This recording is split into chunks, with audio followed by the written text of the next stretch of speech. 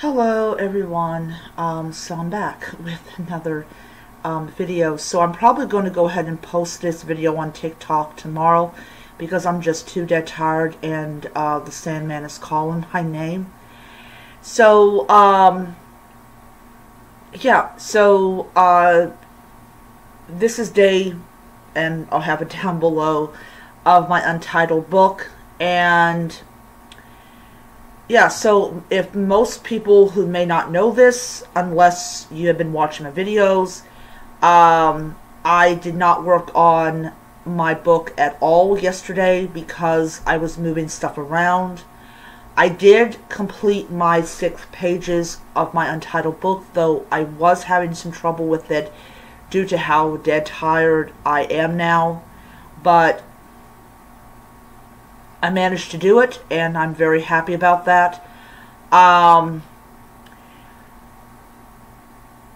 one of the uh, interesting things that I am writing the book is kind of talking a little bit about the past in some of these with, with some of these characters and about how a lot of them got where they were at and everything and I just love um, idea of adding some kind of like background to characters instead of just being, oh, he's a friend, or she's a friend, or he's a cousin, or she's the the main character's mother, without trying to put some kind of context or some kind of background to it.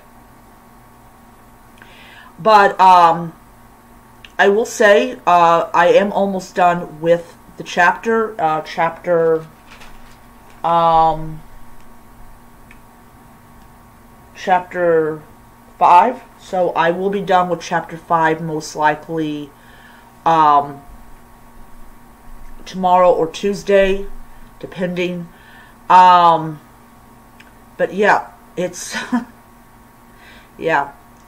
Uh, but uh, I'm just having, I'm just having a blast and writing tonight really did help to get my mind off of how stressful um, the, this past week's been and everything.